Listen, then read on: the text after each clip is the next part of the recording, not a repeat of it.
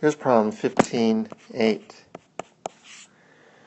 The mass in the figure slides on a frictionless surface. If the mass is 2 kilograms, the spring constant K1 is 800 newtons per meter, and spring constant K2 is 500 newtons per meter. The frequency of oscillation in hertz is approximately.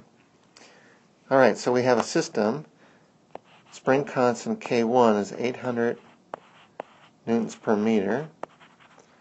K2 is 500 newtons per meter. And we have a mass that's 2 kilograms. What would happen if we pulled this system a little bit, say, to the right? So this spring over here would stretch a little bit. And this spring over here would be compressed a little bit.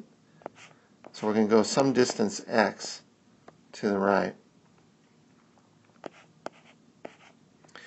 Hence, uh, there'll be a force that's called F little f1 equal to a negative k1x pulling back to the left. And then there'll be a pushing force of the other spring, which will also be to the left. That's called F2 equal to a negative k2x.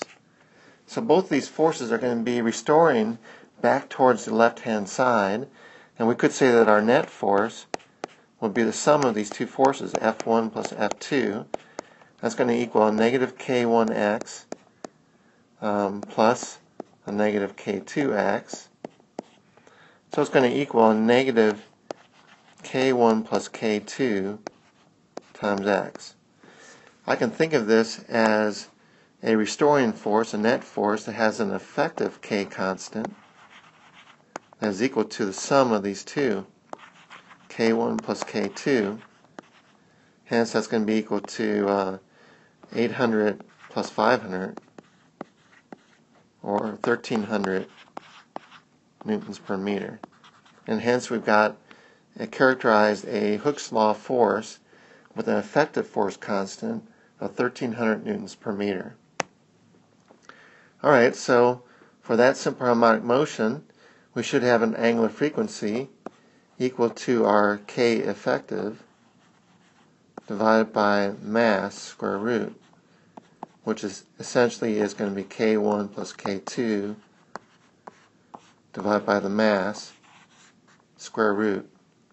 So this angular frequency is going to equal 1300 divided by 2 square root, and that's equal to, oops, what?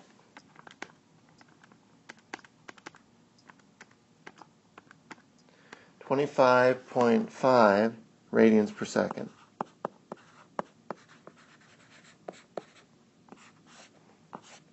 So that's our angular frequency. We want the frequency in hertz. That's going to be equal to the angular frequency divided by 2 pi. So that would be 25.5 divided by 2 times pi, and that will give us the linear frequency. 4.06 per second, or 4.06 hertz. So this system, once we characterize it from one spring constant, has a frequency of 4.06 hertz.